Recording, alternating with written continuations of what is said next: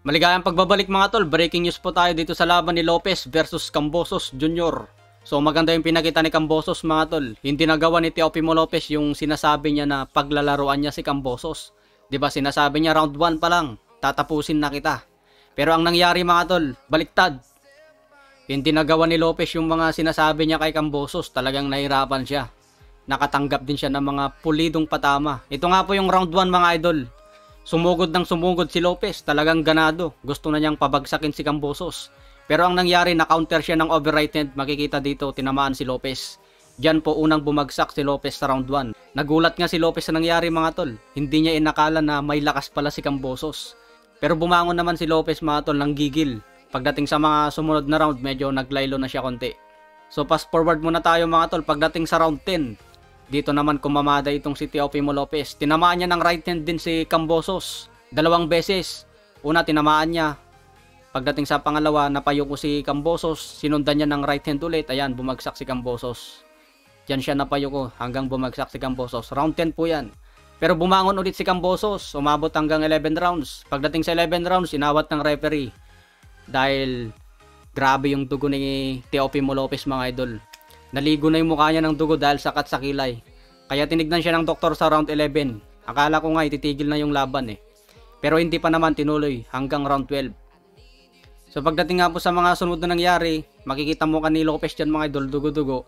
Tinatamaan agad ng mga right hand ni Cambosos. Talagang solid yung patama. Hindi niya nagagawa yung shell na tulad kay Mayweather. Kaya makikita yung shoulder niya mga idol. Oh. Naka-Philly shell yan, pero pasok na pasok yung right hand ni Cambosos. So umabot po yung laban nila mga idol hanggang 12 rounds. Talagang maganda yung pinakita ni Cambosos. Maganda rin yung pinakita ni Lopez. Pero pagdating sa score, nakapos. So ang score po ni Chris Mannix, 112-114, panalo si Cambosos. So pagdating nga po sa official scorecard mga tol, winner by split decision, George Cambosos Jr. Siya na ngayon ang bagong undisputed sa lightweight division. Undisputed at unified. Pero hindi siya kinoconsider na undisputed dahil hawak ni Devin Haney yung WBC. So makikita yung reaksyon ni Teofimo Lopez dito mga tol, nagulat. Nagulat siya dahil dikit ang score, natalo pa siya. Talagang gulat na gulat si Lopez sa nangyayari. Pero pagkatapos ng laban mga tol, lumapit din si Cambosos kay Lopez. Bilang mandirigma, nagpakita rin ng respeto. Pero ang nakapagtataka dito mga tol, sinabi ni Teofimo Lopez, siya daw ang panalo sa laban. So alam daw lahat ng mga nanood na siya dapat ang panalo. Kumbaga hindi niya tanggap na natalo siya. Pero wala daw rason natalo na daw siya sa decision. Pero para sa kanya, para sa mga nanood, panalo daw siya.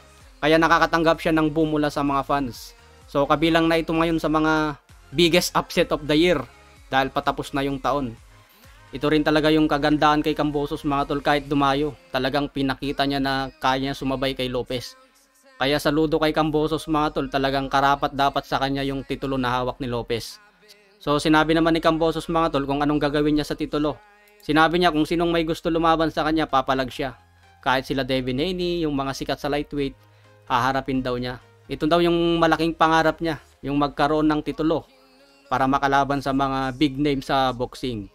Abang na lang natin yung mga next update mga tol tungkol naman sa mga reaction sa lightweight division.